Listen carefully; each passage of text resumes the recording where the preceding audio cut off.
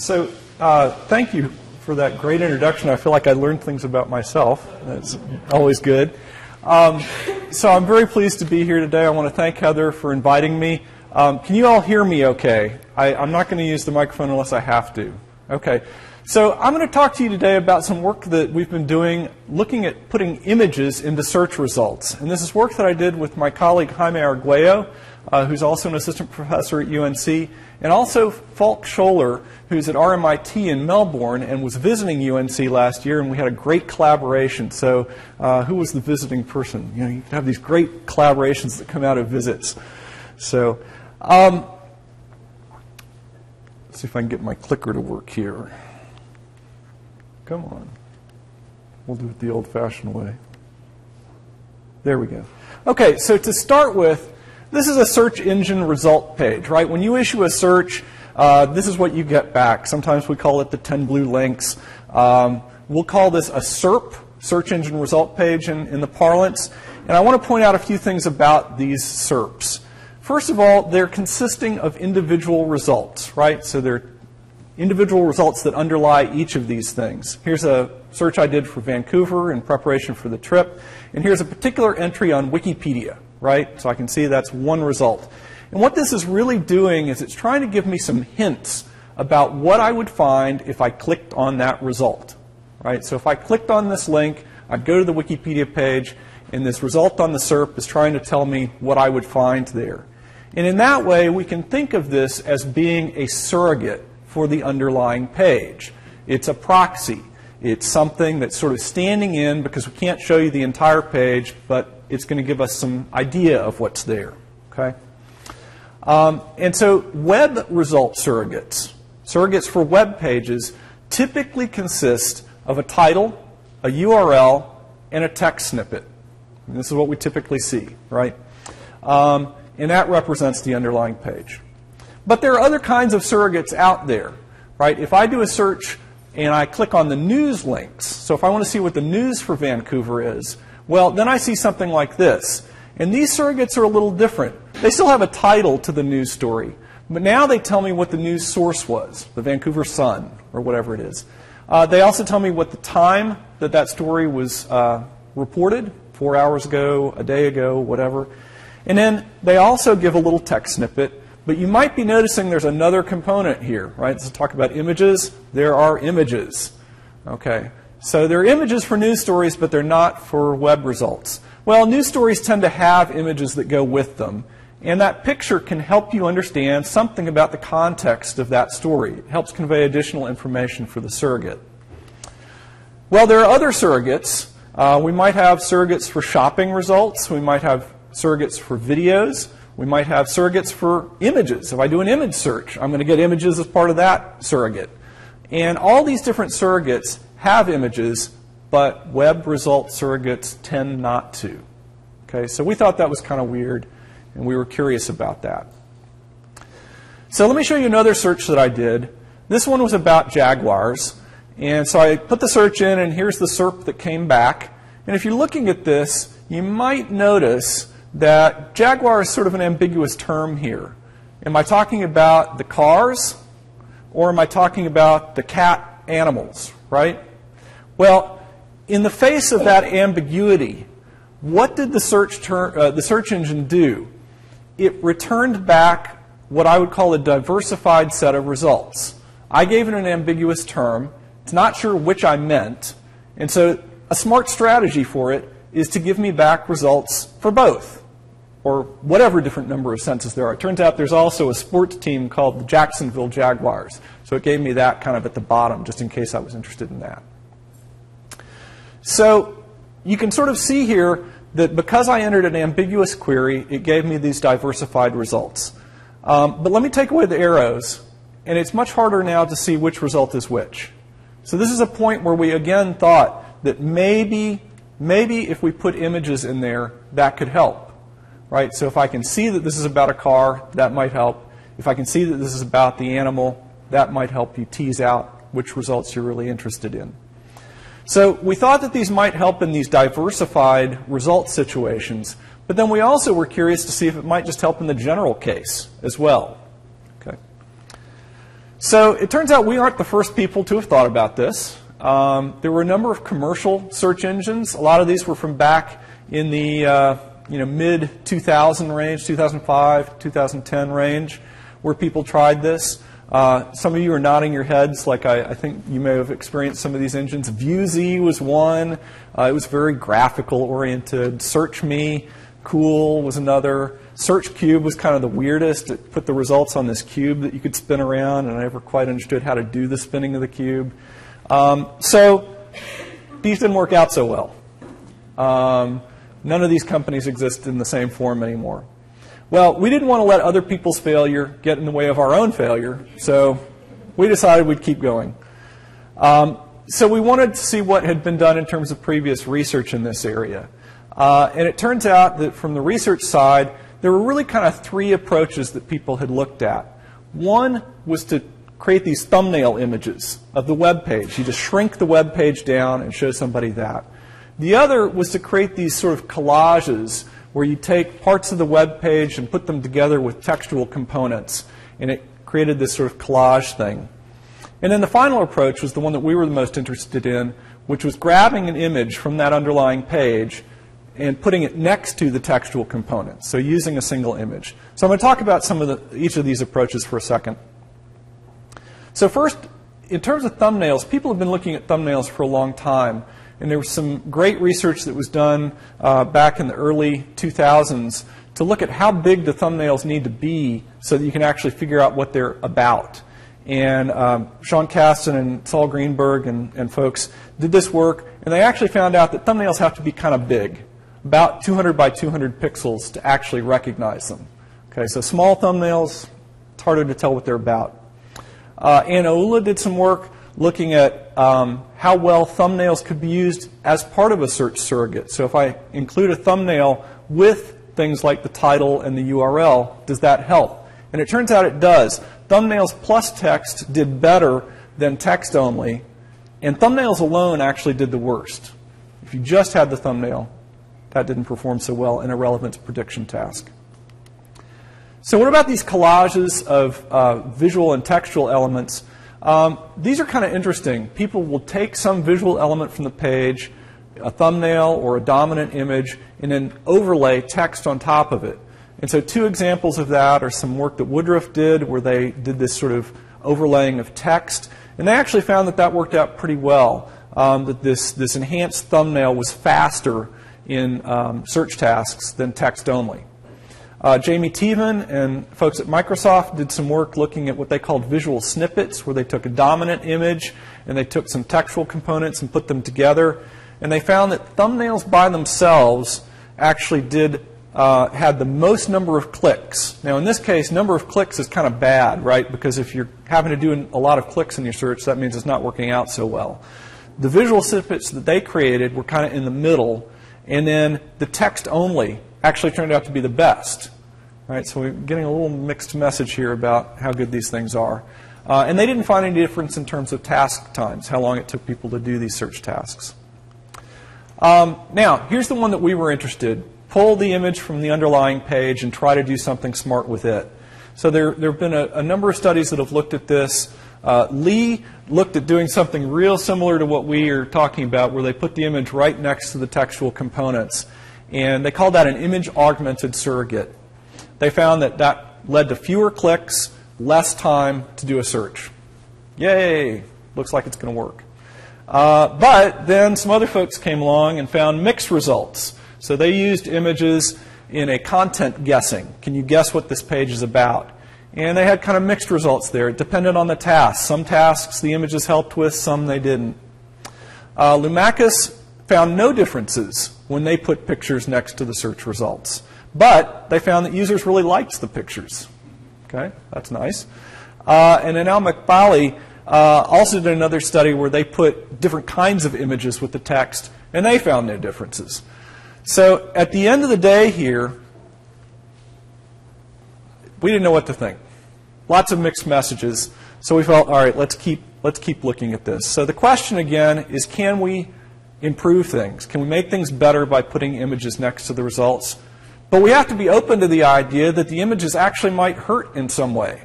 right? They might slow people down because they get all caught up looking at the images. The images might convey the wrong information. Okay, so we have to be open to the idea that they could hurt performance. All right, so just to be very clear, our focus is we're going to take one of the images from the underlying web page. So here's a picture of the car, and we're going to move it and put it up. Here's the picture of the Jaguar. We're going to move it and put it up next to the results, in addition to the textual components. So I want to now start to talk about the research questions that we addressed in the studies that we did. Um, so we felt that there were two ways that images might help you or hurt you. One is when you're making an individual decision about that particular result. So if I'm looking at this result at the top, does this image help me figure out that, that result? Individual surrogate level. The other is when I'm processing the entire set of results that come back. If I see a bunch of pictures of cars and I'm looking for the animal, I might be able to sort of do a triage process there and say, huh, I'm in the wrong place. Maybe I need to reformulate my query. Maybe I need to add some words to it or change the query in some way. So you could either look at it from the individual judgment on the individual surrogate or in processing the entire SERP as a whole. And we wanted to look at both of those. The next part, we looked at image, what we called image quality. And quality is a little bit of a tricky term to use here. What it really is, is how well does that image reflect the underlying content? So not all images that are on a page actually reflect the main content of the page. So the example I like to give here is on this National Geographic page about jaguars, they are advertising another page about birds, and so they're pictures of birds. So if I picked that image and I put it next to this, you're going to think this is about birds, not jaguars, and that would be misleading. There are advertisements, there are all kinds of random images on pages that we might not want to use. Okay? So does the goodness or badness of an image in reflecting the page content, we would think that would make a difference, but we wanted to look at it. Kind of as endpoints, right? If, if we picked really good images, that would tell us one thing if, people, if they helped. If we picked really bad images, that would tell us another thing. And then finally was this question, the suspicion that we had that when you have diversified results, right? Remember the ambiguous query? Jaguar could be cars or cats. When you've got ambiguous uh, query and diversified results, we had this gut feeling that maybe the images would help you sort things out more in that case than in a general case where all the results that came back are generally homogeneous. Okay? So we wanted to look at that, but that can really only be looked at in the context of the whole SERP. Okay? All right, so these are the things that we looked at in our study, and they sort of map onto research questions like this. Um, do images help? Does image quality matter? and does the diversified uh, results, do the images help more there? So we did two studies to look at this, and they kind of line up on the questions the way this diagram shows you. Now, I'm going to go through a lot of details on these studies, so uh, hang on to your hats because these were complicated studies. Uh, and, and I hope I don't lose anybody. But if you have a question, interrupt me. I'm happy to take questions as we go through it. So I want to give you a, a, little overview of each of the two studies before we go into the details about how we set them up and the experimental variables and so on. So in the first study, um, we asked people to make individual surrogate judgments.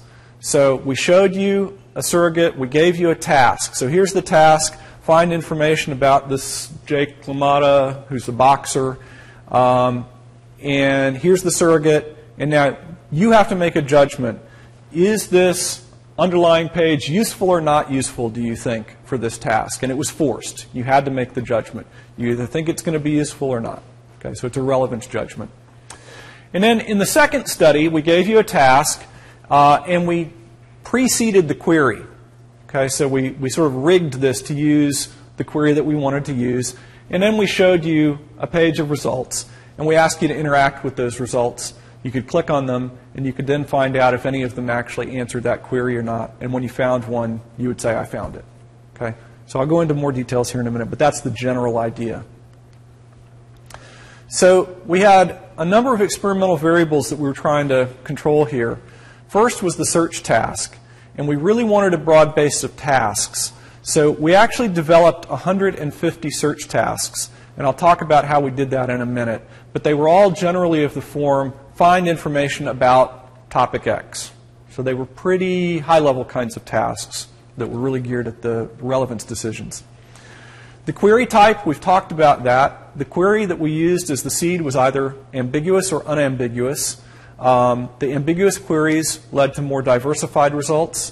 The unambiguous led to more homogeneous results. And then finally, we were interested in that question about image type, right? The good versus the bad. Well, we also wanted to see what happens, you know, in a real world setting. If you were doing this, you're probably not going to have perfectly good images. You're going to be somewhere in the middle. So we, we also set up a condition that was mixed. Um, and then as our baseline, we chose no images. So we actually had four conditions there.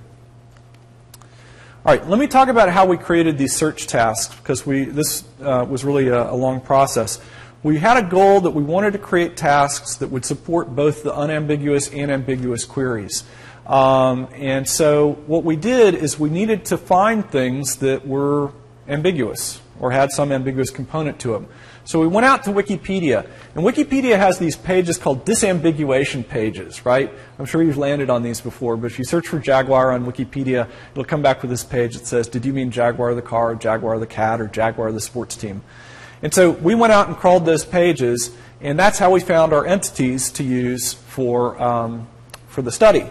Um, submitted any queries that we found or any entities that we found that didn't actually exist in a search engine query log. So we had access to this great AOL query log that shows searches that people had actually done.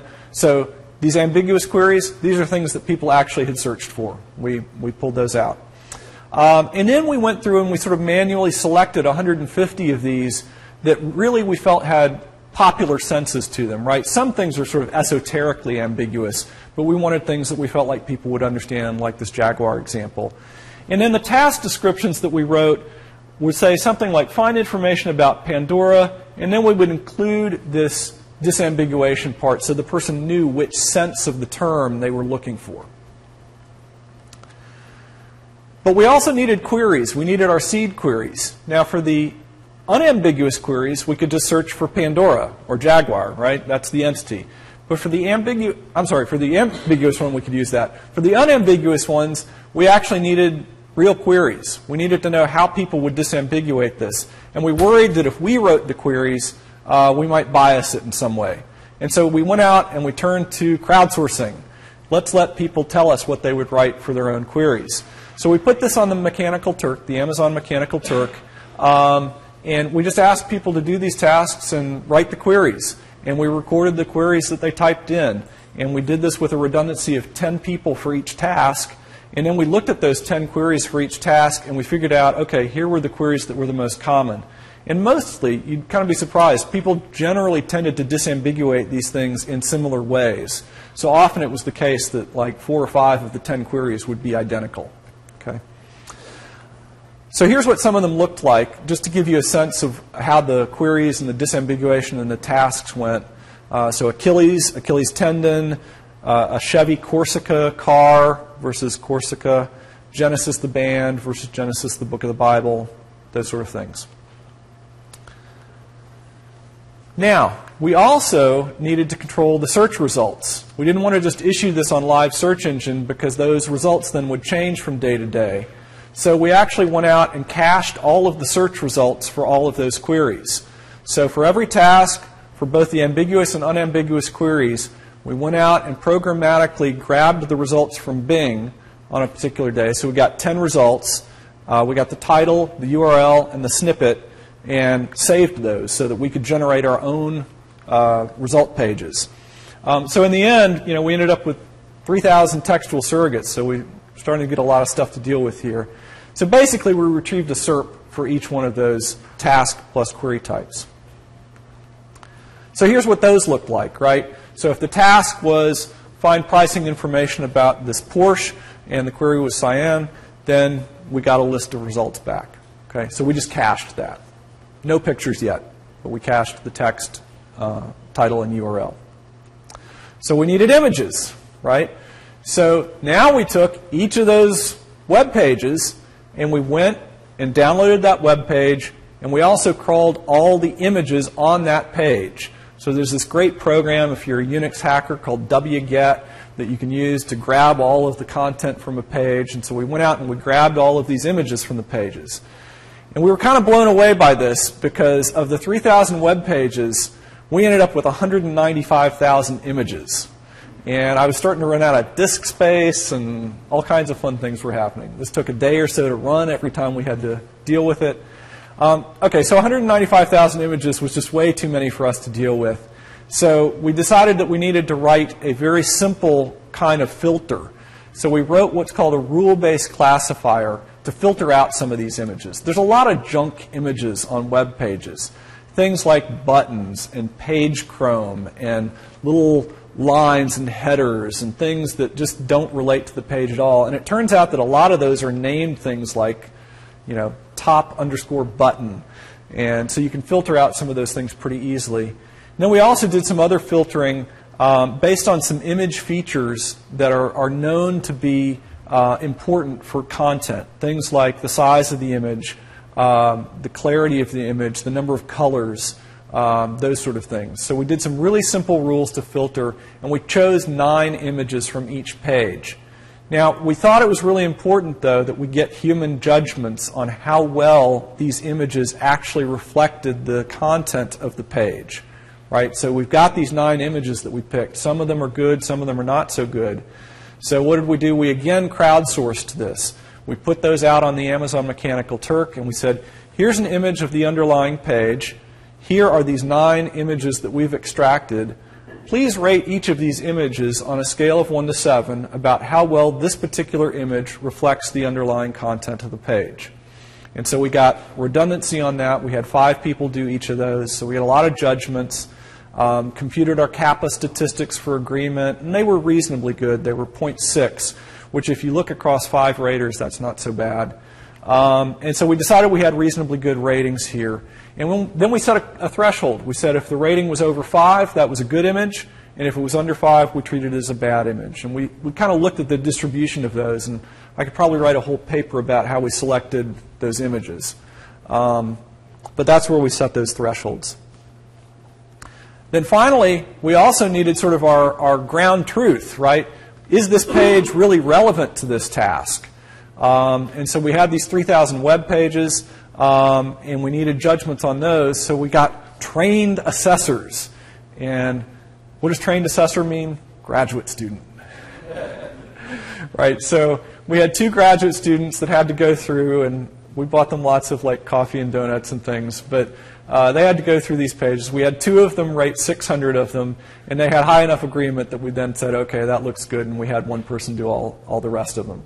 Um, so we treated that as our ground truth for all these measures that you're about to see. We reported accuracy and precision and things. So this is our ground truth. Tell you what, before I go on, I just threw a lot of stuff at you. Any, any questions? Did they know what they were getting into? The graduate students? yes, yes. I, I kind of warned Emily what she was getting into, but she, she was very good at this. She, I think it was kind of like a Zen thing. Yeah, Carol. So you ended up with nine images from each site, mm-hmm. but you threw away some of them and you kept some of them. What, what, kind of proportion did you have? Of those nine, how many did you keep? Well, so that's a good question, right? There were some sites that didn't have nine images, and we just took all the images that we got in those cases. There were some sites that had hundreds of images, um, and so we, you know, we're throwing away a lot of images there. If they were good or bad, whether you keep them. Right. Oh, okay. So the good and bad what we did there is we took the, the one that had the highest good rating and used that as our good image, and the one that had the, I'm trying to remember, I think we picked like the median bad or something like that to, to select the one bad image that we would use. So since we, we picked two for each, right? Yeah. Okay. Uh, everybody with me? This was like one of the more complicated studies I've done in a while, so. All right. So now I can actually talk to you about study one. Um, in this study, what people did is they came in, and we ran this on the Mechanical Turk. Um, they came in and they saw individual surrogates and they had to make the judgments. So this is just what I showed you before. They had a task that they were given, they were presented with a surrogate, and then they were asked, is this useful? Do you think this is useful or not useful for this task? So individual judgments were made.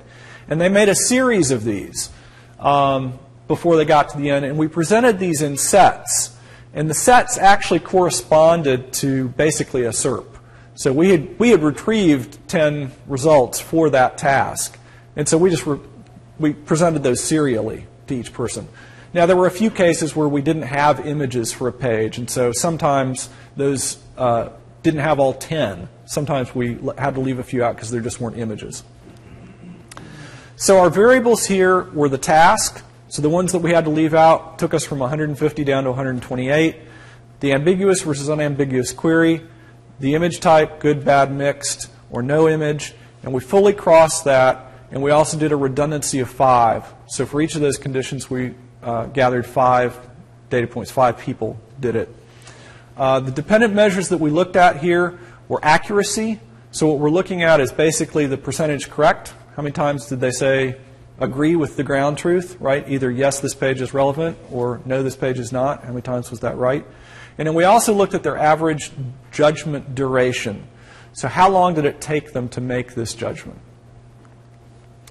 And as I said, these were presented in, in groups of about five to ten that, that mapped onto the, the uh, SERP that we had gathered. Uh, so we did this on the Amazon Mechanical Turk, and I don't know how many of you all are familiar with the Mechanical Turk. I've mentioned it a couple times already. Uh, the Turk is this great system that allows you to post tasks, and people come and sign up to do these tasks, and they're all online, so they're doing them at their computers, and you pay them a small amount of money for doing that task. So in our case, we paid them 10 cents. So if you do this set of 10 judgments, we'll pay you 10 cents. And it's this marketplace where lots of little tasks get done. Um, and a lot of them are, are, things like what we're doing here. Um, I'm not sure if anybody's getting rich off doing this, um, but it turns out there's a lot of people that do it. There are thousands of people that do this. Um, but people try to game the system, right? So this is a crowdsourced kind of thing, and we don't have direct contact with these people, so we don't know you know, are they, uh, are they doing the job honestly or are they just clicking? So one of the things that we had to do was to put in these checks. We put in tasks that we felt were just really obvious. And if you failed that check three times, so we put these checks in periodically, if you failed three of those, we didn't tell you, but we just sort of didn't let you do any more tasks. We were like, thank you. We're, that's all the tasks you can do. Okay? So we cut people off if they failed too many of these. And what we thought was that if you're failing three of these, you're not really paying attention. You're not really doing careful work. Okay? Oh, not that many actually. I want to say out of you know the, the several hundred people that worked on this, there were probably like five, ten, something. I was kind of amazed actually because if you think about it, I mean we don't know these people. They're just coming onto this website and doing this task. Uh, we're paying them 10 cents, but they're pretty honest workers. Do they give you any information about where they're coming from? Yes. So Amazon has some things in place where you can restrict who you allow to sign up for your task. You can say, I only want people in the United States. You can say, I only want people that have a certain rating. Um, you, you, get these feedback ratings, and you could say, I only want people that have a feedback rating of 95% or something. And I'm trying to remember, I think we actually I think we restricted this to U.S. workers with a high rating. I don't remember what the exact cutoffs were, though. So, I saw another question. Yeah. Oh, just to, the other flip side of this is I don't know if you're familiar with the work of Lilly Irani and Six Silberman exploring Tur- the, the uh, Turk, I can't pronounce it, um, Turkopticon. Yeah, the Turkopticon. Looking at the people like yourself who hire these people right. don't treat them very well, or things that go bad, so they try to empower these people who are doing this kind of work. So it's it's not necessarily that you know it's, it's a very complicated ecosystem here yes. that you're. It is a conflict, and, and, I'm glad you brought that up because we actually ended up with a really good rating on Turkopticon. Turkopticon is the site that rates people that put tasks up. Um, and so that if you're a worker and you want to do these tasks, you could say, well, who's this Rob Capra guy? Should I do his work or, you know, is his work not so good? Um, we actually ended up with a really high rating on the Turkopticon, and our tasks tended to get done very, very quickly. Um, I mean, we ran some of these, and they were done in a matter of hours. So, um, I saw another question. Yeah. Yeah, I just said in a matter of hours, roughly four hours, 10 hours?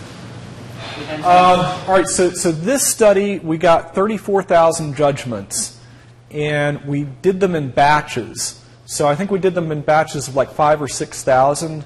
And this one actually did take us a little longer because we throttled it a little bit. We didn't want one person to be able to do too many judgments, right? So you could only do up to 150 tasks. You couldn't see a task twice because that you would already have seen that and you'd sort of be biased. So that one actually took us about a week. Um, the other one that I'm going to show you ran much faster. Yeah, if you want to talk about Turk stuff, feel free to see me afterwards, and I can tell you all about the trials and tribulations of working with the Mechanical Turk. Um, okay, so here's our results, um, and I'm just going to show you the results on accuracy. We also looked at, at recall and precision here, but I'm going to kind of focus on accuracy because the other two were very similar. So at the end of the day, good images led to a 2.3% improvement in accuracy over text only. And so there was a main effective image that was significant here. The post hoc test showed that the good images versus text only were significant, but 2.3%. Well, that's kind of small. We were a little bit disappointed about that, but it is what it is, right? It's a small but significant improvement. But if you look at this, overall the accuracy was quite high even in the text only condition, right? The accuracy here in the text only condition is up in 87 kind of percent range.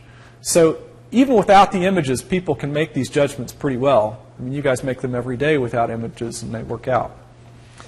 So another piece of good news, though, was that the bad images here, um, they didn't really seem to have much impact. Okay, that's kind of interesting. We're not entirely sure what was going on there. Maybe people started ignoring them, okay, because they were not good. Who knows? But the good images helped a little, and the bad didn't hurt so much. So overall, that's okay. So we were curious about this, though. Because the accuracy was so high, we decided to dig a little deeper. And we said, well, what if we look at only those cases where the textual, where the text only condition didn't do so good? In other words, the, the cases where there was some room for improvement, right? So if, if the text only condition had low accuracy, that means that the images might have more chance to help. So we created two bins. We created a low bin and a high bin. In the high bin, we put everything that had perfect accuracy for the text only condition. In the low bin, we put everything else. And there we found more of a difference. So here, the good images helped more like 24%. So when the text is not so good, the images give you information that's helpful. Okay, so that was interesting. Um, but on the flip side, there is a cost to that. In the high bin, where we had perfect accuracy in the text only condition, when we added those images in, sometimes they hurt. So there was a 4% decrease there in the high bin. Okay? So 24% increase in the low bin, 4% in the high bin. I, I can deal with that. Now, we also looked at judgment duration. So this is how long it took people to make these judgments. And when the good images were there, right, they had an impact on accuracy, but they also had an impact on how long it took you to make the judgment. Uh, took you about 230 milliseconds or so longer to make the judgment. So we kind of interpret that that, well, you were looking at the image, right? We didn't do eye tracking or anything here. We don't know. But there's some evidence there that they were doing something that took longer, and it was probably looking at the image because that was the thing that we varied. Um, in the low bin, that effect was even greater. So again, we see that as evidence that the images had an impact. They were helping you, and it took some time for them to help you. Um, but in the bad, uh, I'm sorry, in the high bin, not as much. All right, so that was study one. In short, good images help a little. Image quality did seem to matter, good versus bad. Uh, the bad images didn't help at all here. The good images helped a little, bad images didn't help at all. So next, I want to talk about study two. This was at the SERP level, right? That was the individual level. This is at the SERP level. And so, what we did in this study was a little different. We presented you with an entire set of results, and you could click on them and go to the underlying page. You could see the page. And if you liked it and you felt like it answered the task, then you clicked this button up at the top that said, This page has the answer. If you didn't like it, you could go back and then play around with the, the rest of the results. If you found a page that you felt had no relevant answer at all, we gave you another button to click here that said none of these results are relevant. Okay, so that was the setup for this task. So the independent variables were about the same as study one. Again, we did this in a fully crossed kind of design, so we took 150 tasks, two query types, the four image conditions, and again, we did a redundancy of five. So five people did each of those conditions. We had 6,000 total trials this time, which is why it, it went faster. We had 6,000 trials instead of 34,000. Um, and here we measured two things. We measured something called click precision, right? So every time you make a click on that SERP to go to one of the underlying pages, we recorded that. Ideally, we would want you to only have to click one time. That you find a result that is relevant and you just clicked on that one and that's it. That would be the best possible case. So click precision takes the number of clicks that you made on relevant results and divides it by the total number of clicks you made. So if you had a, a lot of clicking going on there, your click precision would be lower. We also looked at time to completion, so simply just you know start time, end time. Uh, and again, we used Mechanical Turk for this. We crowdsourced it, and images uh, or workers got assigned to a, a specific image condition here, so that you weren't seeing mixtures of the image conditions. So the results here, again, we found a very small benefit. In this case, it was not significant, but it was about a 2% increase for using good images across all the tasks.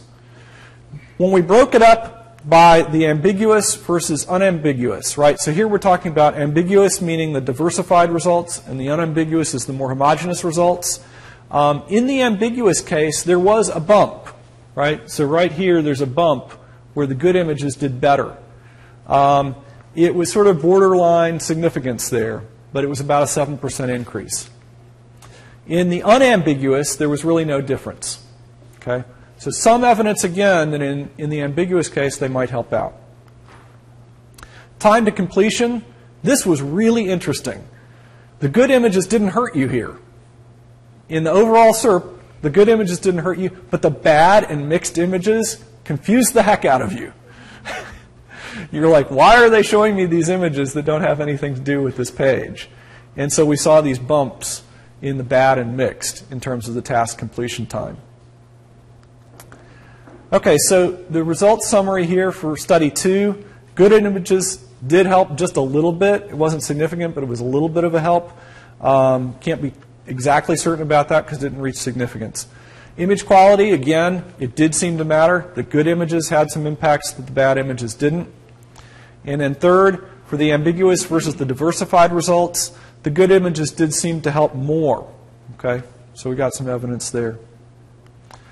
So, you know, kind of looking at these things across both studies, um, in the general case, when the title and URL and the text snippet are good, images don't really help you that much. At least not that we found. When the textual components are lacking in some way, so that was our low bin in study one, then the images did seem to help. It makes sense, right? If the text isn't helping you, the images have room to help you. And when the search returned diversified sets of results, right? The Jaguar, the car, Jaguar, the cat, there did seem to be some room to help there too. That was where we saw that 7% increase that was sort of borderline significant. But all of these things are contingent on having good images, and that's a trick. So, what do we see as the implications of this? Well, images can help in specific cases. I don't know that I, if I were a search engine, I don't know that I would be implementing images in all cases, but I might use them in certain cases. I might use them when I know somebody's entered an ambiguous query. I might use them if I know something about the text that I'm returning and I know that it's not so good. And I think you could programmatically do that, right? You can think about what the quality of the text snippets are that are coming back to the user. Maybe they're short, maybe the words are highly redundant, something like that. Um, and so I think some simple metrics could be used to help predict that and tell you when to use images and when not to. Now, the good news is, and this is not work that we've done, but that other people have done, is they've looked at how to extract these images. And there are very good image classifiers that can get about 85% accuracy in extracting what we would consider a good image. And they can do it pretty efficiently. And so that's the good news. This is something that you could actually implement. So, in short, I think that these images could help in certain cases. Um, I think they could be algorithmically applied. Um, but we may have an explanation for why Google is not showing us images with all our search results, right? They only help a little bit. All right, uh, that's the end of the presentation, but I'm happy to take any questions that you might have.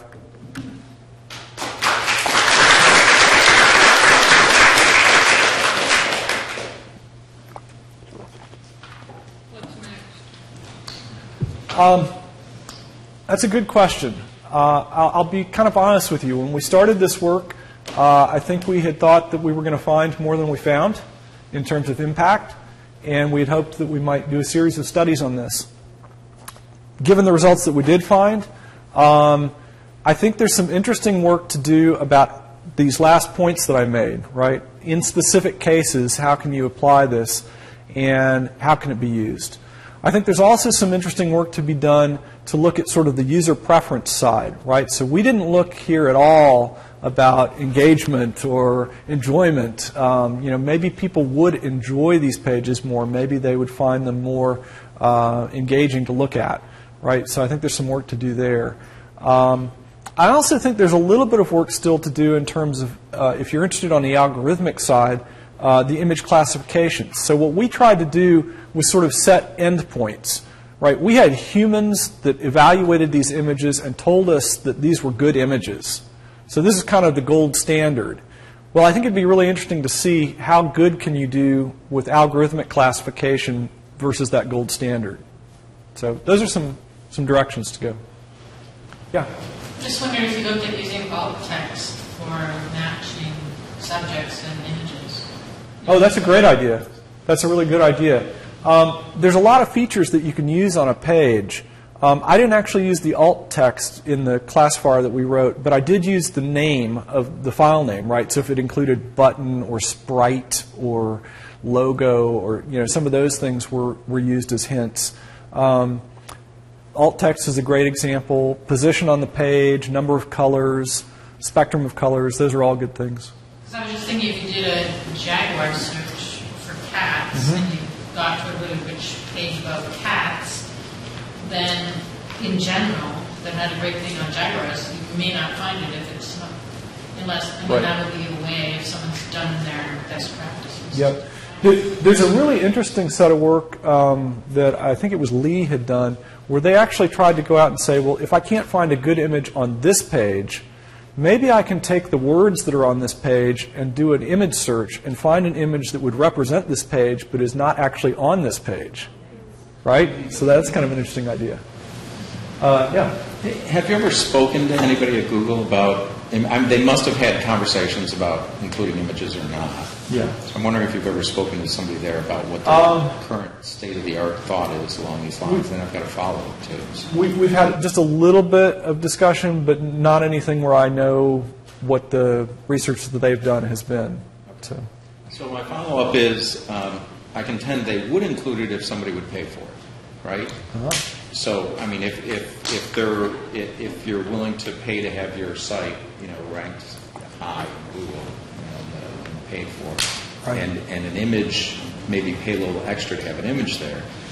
I'm not certain I saw it in your study, but, but maybe it, it leads to the speculation that including an image increases the probability that somebody clicks on that result, because if it's Yep. taking more time with the bad images, then people, I'm speculating as to whether or not this is in your study. Yeah.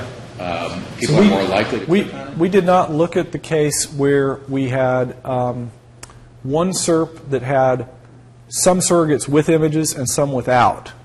But I think that's a really interesting uh, hypothesis, right? That maybe the images attract you to think that that result is better. Um, and that could get into issues about trust of that site, reputation of that site, right? So that's a really interesting idea. So the reason I speculated on it is I think that your, your, uh, when you had bad images and mixed, uh, people took more time, right? Right. Is that correct? That's correct. Versus the text only. That's right. And, and, uh, th- which means that the image meant that they clicked on it typically or no? Or- Um, so in, in those cases, with the bad mix, there was no difference in the click precision. I'm not talking about precision, I'm talking right. about the amount of time. Yes, the time was greater. So Right. that- that's why I'm speculating that maybe just simply the presence of an image may lead to people actually clicking on that. Yeah, yeah, it's possible. Yeah, that's a great idea. Um, okay. Uh, I just had a quick question. Did, um, were you finished study one before beginning study two? Did you know the results of the first one before going into the second? We did, yes. Um, we had pretty well locked into the study two design, I think, at that point, but we did run study one first. Yeah, that's a good question. Okay. Yeah, I- I've got a number of questions, I'm, I'm sure I'll bother you more afterwards. Okay. One of the things I'm thinking is, is what if you, what do you take from this, not just into design, but into uh, taking advantage of what you've learned here, that the bad images, um, that can go into disruptive technology. I mean, can you say, okay, I'm going to make somebody uncomfortable. I'm going to make them put different things together. Um, uh, or I learned something about cognitive interference. I'm not even sure if that's a term, but um, which, which you obviously have learned something about Right. that at the time. So, so I just kind of wondering about what, what you do with that as far as playing with the next idea of what to do if you're going to, if you want to have a certain purpose for a website, like you really want people to, to find it and everything be together, you know, as a design recommendation, but Right. then play with it. Yeah, well, so um, I think our focus was a little more narrow on the, the search results, right? So um, this idea, though, about people's engagement with the results on the page is where our, our sort of interest is. And we had some other studies that this is maybe not exactly what you were asking about, but I'll, I'll try to see if it ties in. Where um, if you look at image results, and actually I think somewhere in here I've got a slide on this. Um, often what happens in a SERP these days is you get a blending.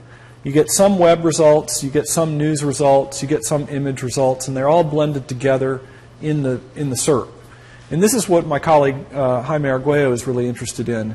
And so there again, we've seen some of these sort of spillover effects where if one of, the, one of those is telling you a certain message, so if all of the news results are coming back on one topic, then that affects your interaction with the whole SERP, right? It means that you feel like you're in the wrong place. Um, and we did, a, we did a study where we actually tried to tease out the whys behind that. So we actually had people come in, do some tasks in the lab, and then we played back their searches for them and had them narrate sort of their thought processes while they were doing it. Um, and we did see some cases there where there was a real clear indication that somebody saw images on the SERP and they were like, oh, I don't know why that image is there. Maybe these results aren't what I'm looking for. So we call it a spillover effect. So, Yeah, the other question I was is, it seems that what you, what you chose here was very concrete. So we know that the Jaguar example, those are concrete things you can Yeah. picture. But what if I search for something with their luxury cars or something? What if Right. I search for something where there isn't, I search for concepts? Uh, do, Yeah. do you think it would, work? well, and that's a great question, and it's a point that we thought a lot about in choosing these tasks. Um, we we kind of started where our intuition was. We felt like this was an end point, right? That if we found a benefit here, then we might think, okay, there could be benefits other places. But if there's not a benefit in this extreme diversified you know, entity case, then maybe it's not so likely there's going to be a benefit in luxury car search either. But, but that, you know, we don't know. That, that's an area that could be looked at. So, uh, let me go to the back. Have you uh, thought about looking at the effects of transforming the text into a visualization, information visualization of the Wordle, and what the effects of that would be if it takes place next to the standard? That's, that's a great question. Um, I'm not sure if I have that slide. Um, apparently, I don't have that one in my backup slides. Um, there was uh, another research project, one of the ones that I mentioned, Almac Valley, um, from 2010, and if you want, I can point to the reference, where they did exactly that. They put a Wordle up of the, of the page. And that was one of the ones that if you go back, um, there, there was no significant difference with that versus text only in their study. Now, that study was somewhat limited in the number of participants and that sort of thing, but there's at least some evidence that that didn't help either. Yeah, Luann. Um, yeah, I, a very interesting study. I think one of the really interesting um, things about uh, that we've seen with search engines is the failure of visual search. Right. Really, uh, because they're just such wonderful systems that are beautifully designed, uh, full of pictures, and it seemed like they were going to be the way of the future. Yeah. At a certain point in them, then uh, just you showed, they just kind of failed. yeah. And you know, the question is why, and I think it really comes back to the to the the the, the power that text has for us, uh, uh, the efficiency with which we were able to process text, and how, how valuable it is. Um, and so, I mean, I think that's something that we think about now. You know, Vicky's question about visualizations um, is is is not to forget how incredibly powerful uh, text is. Yeah. Um, so that's that's my comment. But my question, I guess, is you can probably predict, is about other kinds of tasks. I Yeah. mean, you did, you focused on a Yeah. general subject task. Um, what about procedural tasks, how-to tasks? So, for example, we know videos are really useful for how-to kind of scenarios, or ex, uh, exploratory search. Yeah. Okay, Which So more aesthetic and more, I, I definitely think that different tasks could be looked at here. And, and, and again, I'll kind of come back to this. We, we wanted to start somewhere where we felt like there was some promise, right? In this, this idea of identifying is this page on the general topic that I'm looking for, we felt like that was a component probably of all these other kinds of searches. Um, but it might manifest itself in different ways in those other searches, right? So, you know, those are all things that I think would be interesting to look at. Um, and we kind of chose this more basic one uh, as a starting point. Um, and and I, I don't know, I can't decide. We didn't find a big effect, so I'm not sure.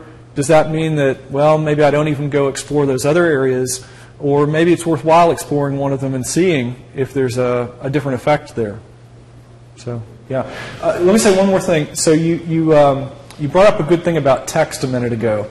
And this is something that um, uh, some other students and Gary Marchionini worked on at UNC where they were looking at uh, different kinds of surrogates for video search. This was back a few years back. Um, and they also found that. It's very hard to beat text uh, for certain types of tasks. So, yeah. So, so anyway, something common is recycling and reusing pictures. So you can see, for example, the same iconic picture taken by so many different websites with Yeah. different content, right? Yeah. So um, did you consider that in your study? Did you consider duplicates of images, or did you just selected unique images and? You know, I, I don't know how many duplicate images there were actually. Um, I could probably go find that out. But the, um, you know, our approach just kind of went into the page. We grabbed all the images off the page. We ran our little classifier on it and picked nine. Um, I do know that there are, as you pointed out, there are images that sort of recur, right? It's a common image, it's a public domain image, and lots of websites might use it. Um, but I don't know how many of those we had. And I, I don't know if that was something that, you know, would you be more confused if you saw the same image appear next to two different websites? Would you think it was the same website? Yeah. Yes, sir. Uh, yeah, just to pick up on what's being talked about, um, I find that, like, from my own searches, that uh, images can be very deceitful, especially on uh, uh, advertised sites or even on YouTube, where you'll have a good-looking girl or guy uh, as the thumbnail. You click on it, and it has nothing to do with that. and so uh, maybe that's why part of like text is so attractive, is because it's Yeah. easy to sort out with the brain what you're getting right away. Yeah. And so I guess this is a hypothetical question, but how would you anticipate if your research had gone the way that you predicted, uh, a gold standard that everyone could uh, trust? Yeah, I, I think that's a great question, right? Because as soon as you, I was trying to find my page that had the deceptive uh, pictures on it, but as soon as you have one, um, there's a potential to game it, right? So if I know something about your image selection algorithm, then maybe I can have my web page have an image that's going to be more attractive in some way that might draw people into the site. So I, I think that's a really, you know, that's an issue that if you started to implement this, you would have to think about. Yeah. I mean, I, I, one of the ways that I think about this more, though, is in terms of, you know, let's take it outside of the search engine, web search engine context and put it more into you're working on a digital library or you're working on some other kind of closed collection. Um, I think it would be really interesting to see if there's a difference there in how images might help. And Marti Hearst has done some work in that area, um, looking at sort of putting figures and diagrams next to search results and found some benefits of those. Um, and so I think in other contexts, you might find a slightly different result. Um, let me go somewhere on that table. We have time for one more question. Oh. Okay, just a, uh, uh, more of a comment, I guess. The, the controversy strikes me as sort of the controversy surrounding uh, meta tags from, uh, from 10 years ago. Like pages getting loaded down with meta tags in order to Right. support um, search results. And you can also do, you kind of game the system in the same way. Right, right. I, I, I think that there's definitely potential for that. Like you pointed out, I mean, we see that with YouTube videos and, and things that do use images as part of their surrogate. Um, and so, you know, I would expect people would be doing that if, if we use them in web search results as well. So, Okay, that's our time, so maybe if you have further questions, you can come and chat with Rob, but please join me